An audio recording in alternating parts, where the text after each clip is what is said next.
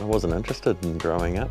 I always looked at grown-ups and thought that they didn't seem to be having as much fun as kids that were running around playing and having fun. And I always thought that grown-ups just looked a little bit stiff and straight. And I always figured there was more fun to be had in life. So I was never very keen on growing up. So I haven't really.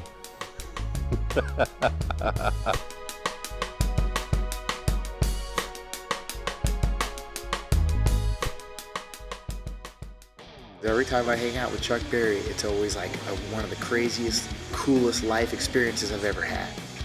He's very calculated with what he does, yet there's something about Chuck that at any time he'll pull something random out and just blow your mind.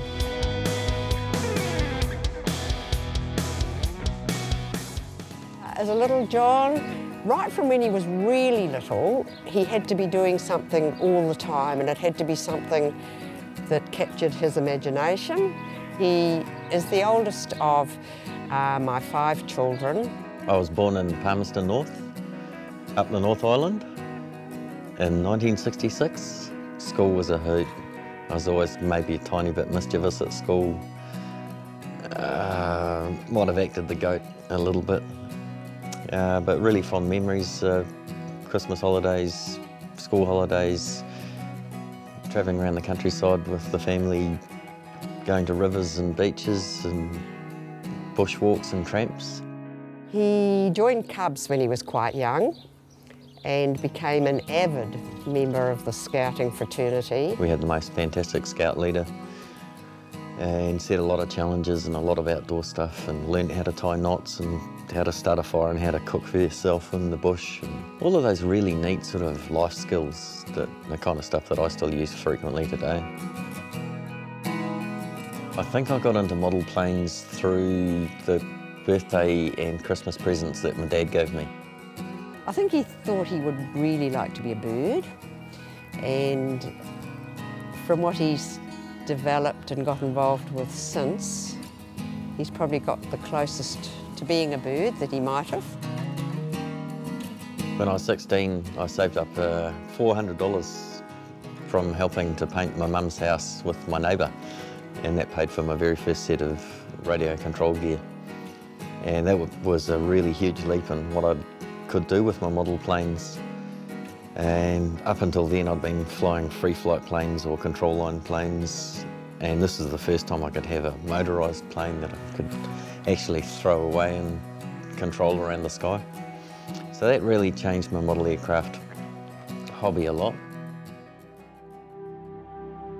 But one of the big things I really did learn from models was a whole raft of aviation related knowledge, things like theory of flight, how a plane flies, how an engine works, and that was a really good grounding to have when I got into Air New Zealand as an apprentice in 1985 as a mechanical aircraft engineer and worked there for nine years. From being an avid builder of, of model aeroplanes when he was a little boy and hanging them off his bedroom ceiling to having his own actual aeroplane that flies, that he built himself, has, has been a great journey and um, yeah, it's fantastic that he's, he's accomplished that.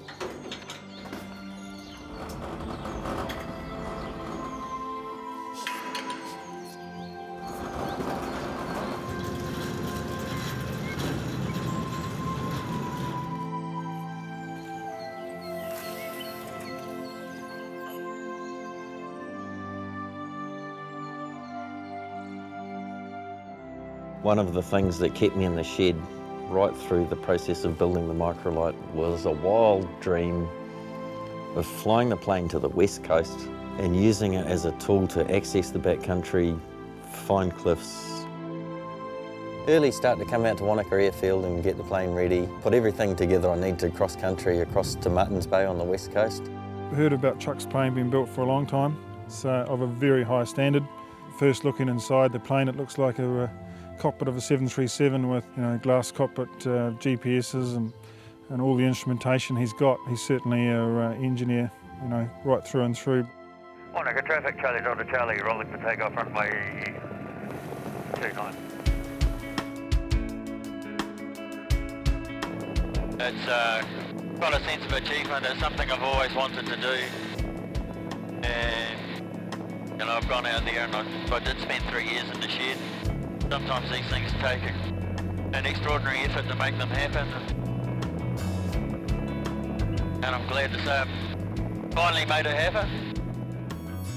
Like going to the West Coast is, there's a lot of skills that need to be learnt before you can go to a place like that. Navigation is a really big one. There's a lot of mountains between Wanaka and the West Coast. As an aviator, with respect to the Southern Alps and weather, you know, we can have in the morning a nice fine morning to evening to severe gale, 160 kilometre hour winds blowing through through the Alps. You know, Chuck's got to be very careful, can rip little aeroplanes to bits. You know, it's a free world when you're up in the air. It's three-dimensional. It's nice and fast. It uh, doesn't matter which way up you are anymore.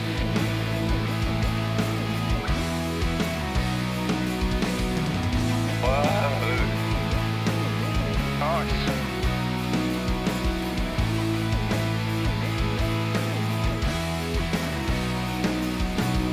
was absolutely amazing. Today, I turned my wild idea into my reality.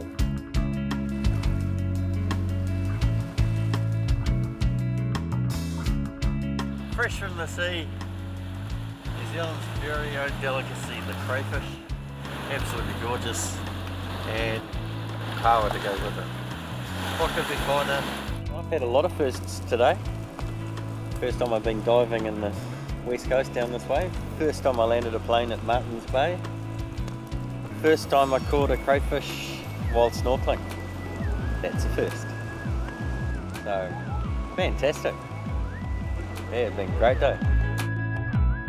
Oh, flying home, sensational.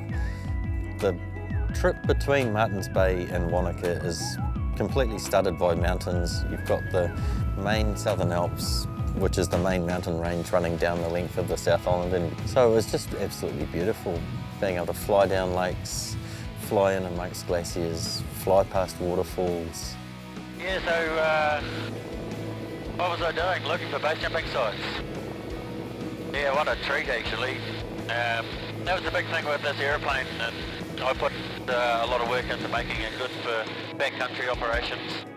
To find a good jumpable cliff, you need a whole range of different things. It has to be high enough, it's got to be sheer enough, there must be a launch point that you can get to somehow, and it's got to have a landing area. It does take quite a bit to actually find a new cliff, and then once you see it, then the back of your mind starts working away and getting a bit familiar with it. Because when you do face up to a challenge, you learn something about yourself and you and especially with the kind of stuff that I like to do, which um, has a bit of jeopardy associated with it. You know, those challenges that you face up where you could kill yourself if you make a mistake. It really does give you a sense of, not you're not using your fear as a barrier, so you're actually getting past that. And once you can get past your fears as a barrier, then you can do anything. That's one of those things that he'd always wanted to do, so awesome. And the fact that he virtually built everything on it himself uh, is, is, I think, is fantastic. When I'd go down at various stages, I would, he'd give me a conductive tour and he was so proud of the fact that he'd added this bit extra and that bit extra and look how it works and these lights flash and most of it didn't mean a lot to me, obviously, but um, it did to him. But I love turning a wild idea into a reality. I've been the New Zealand speed hang gliding champion for the last few years, flying down hills at high speed around a slalom racecourse. Yeah, one of my favourite photographs I choreographed with a friend called Woolly Man and a lady called Lee. And I wanted to get a photo of Lee standing on the back of my friend flying his wingsuit. And she got into position and stood up on the, the back of Woolly Man while he's flying his wingsuit. And she stood up there in the perfect position, was there for about a quarter of a second. but I got the photo. I was asked to come up with a stunt for the Jack Osbourne TV show.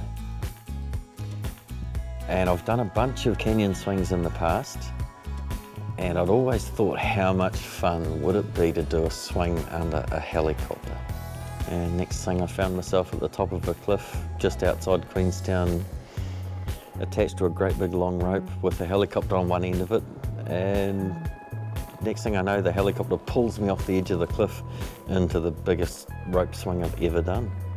100 metre rope swing. As smooth as anything, gentle as anything. Totally sensational. My first major project with Red Bull was Alpha Bravo, and that was to skydive from an aeroplane and fly a wingsuit across the very tip of the North Island from one coast to another coast. And that was a, a wild idea I had. And this was also when wingsuits were, were quite new, and, and it was a wonderful thing to be involved with, jumping in a different part of the country in an unfamiliar location and taking on something that was a, a good hardcore challenge. There has been a, a, huge development in wingsuits over the last few years and the performance has been getting better and better and it is one of the, the new frontiers of the sport. I've done two trips to Kuala Lumpur to jump off the KL Tower and both trips was with Miles Daisher from the Red Bull Air Force and Miles is a very special, unique individual, and we get on like a house on fire. One of the favourite things I've done with Red Bull is to do a parachute jump with a Red Bull event tent, the Wigwam. Every time I'd been to any kind of Red Bull event when the Wigwam tents had been pitched, I'd stand underneath one and look at it from underneath. And I always thought, you know, these tents are about the same size as a parachute and they're about the same shape. I bought some parachute line and went to an upholsterer, spent some time with him and did some modifications to the tent, added some parachute lines into it, and then packed it up into a big deployment bag and ended up parachuting the thing from underneath a tandem paraglider. When you do something new like that, I've got confidence in what I've done beforehand to lean on and go, well, I've never done it, but I'm sure I can. And I think that's the secret to doing all the other stuff that I do.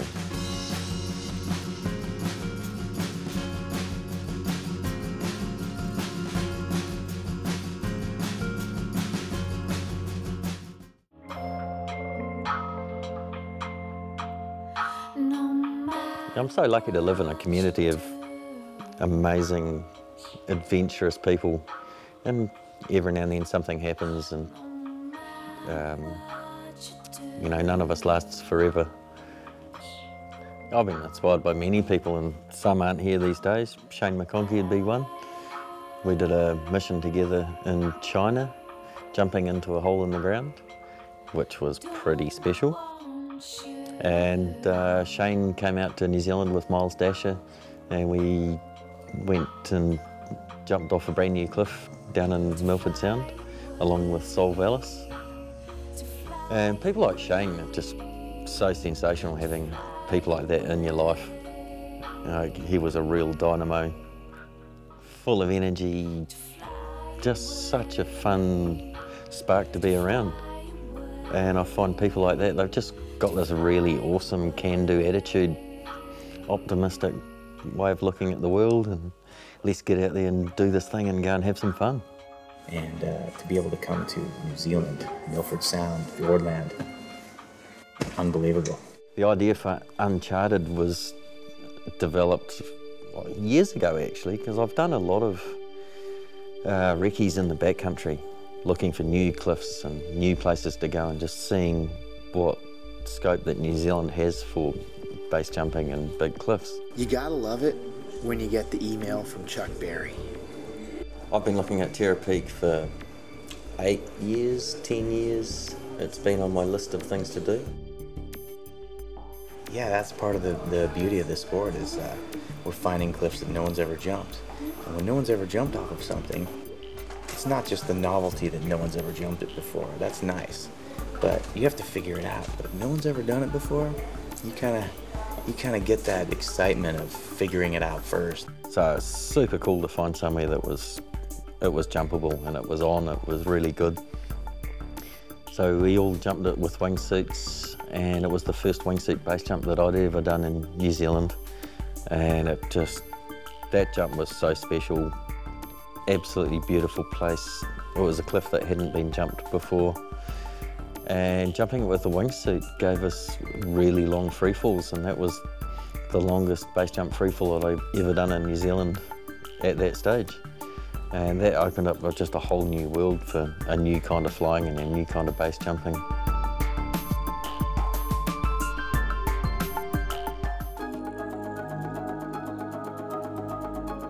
The Remarkables Mountain Range is a big local landmark in Queenstown. It's what Queenstown looks at.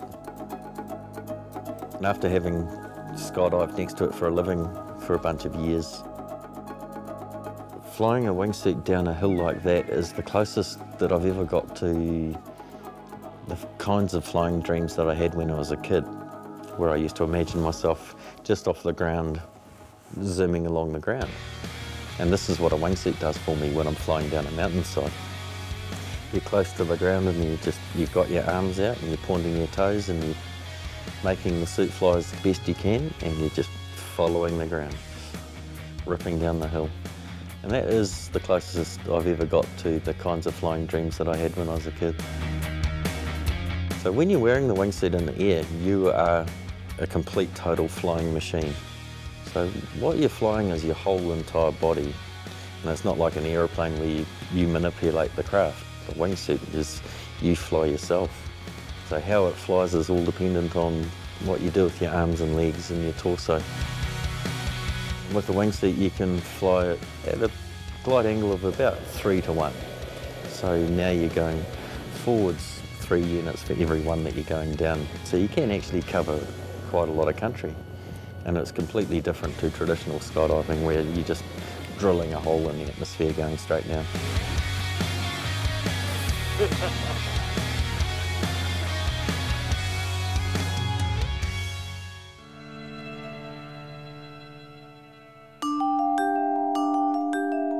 But I do believe that it's, there's no point being a victim to your fears.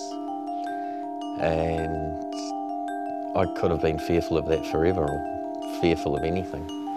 And it did take me a wee while to figure out how to face up to my fears and look at a fear and try and figure out whether it was a real fear or a perceived fear. And try and figure out why I was scared about something and is it a fear that I've learnt from society or is it something I should be truly fearful of? So I think getting past your fears is a massive part of getting out there and achieving something new and different. Because a lot of what I do is really different and I get a really huge kick out of it. But because it's different, it means that no one's done it before and there's no existing set of knowledge often as to what this new thing is. And basically I've just got to go with uh, my own intuition and planning and desire for success. There's a lot that does go into a jump, especially when it's a brand new place that you've never been to before. And the first bit is finding a new location. And in this case, hopped in the microlight and went for a fly around the back country out the back of Lake Wanaka and flew up and down every valley until I had a few possible locations and flew quite close to some cliffs and, and had a look at some places that could be suitable. Where Chuck landed the plane up um, the Wilkin River, which has been carved out from glaciers for millions of years, um, it's a pretty narrow sort of a canyon going up. Um, so, you know, to, to, do a turnaround when you've got 5,000 foot rock walls on either side and a, and a valley ending up, you know, a couple of k's up, um, you've got to get it right the first time. Uh, one-way approach in there uh, and a perfect uh, opportunity for, for a base jump. So it's where the Tasman plate pushes over the Pacific plate and you get um, huge uprisings. with that dramatic upheaval of the rocks, you know, it um, some broken off below, so it gave a bit of an overhang. Didn't have a lot of room. It's only about 700 feet from his launch position to, to the rocks.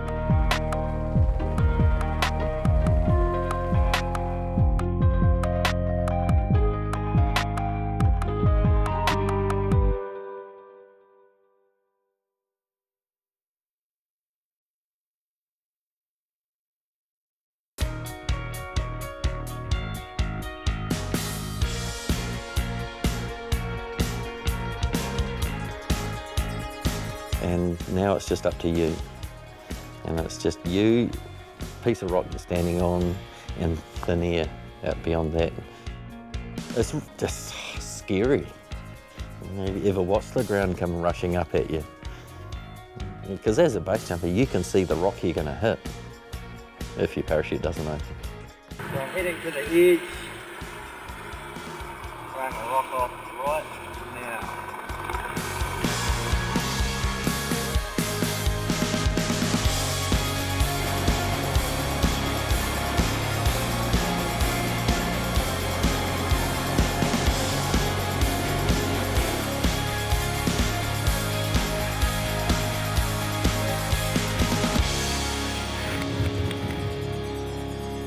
I got into base jumping, which is more of a head game than anything else, it's not a, you're not challenging the cliff or anything like that. You're just challenging your own mind and your own personality as to why you want to go off and do something that's obviously scary and dangerous.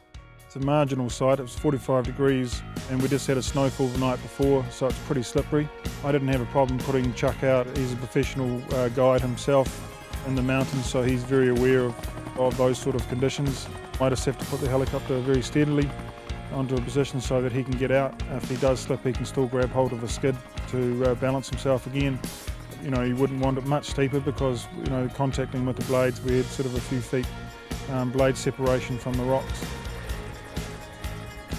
And there is something really special when you are stepping off the edge of a cliff and you're putting yourself completely out there. You've stepped away from the real world that we all know and understand on a daily basis into this completely foreign place where you've always been taught that it's a really bad place to be and you shouldn't be there.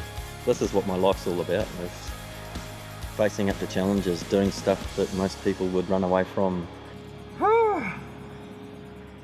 Yeah, it's still there. Third jump of the day and it still hasn't gone away.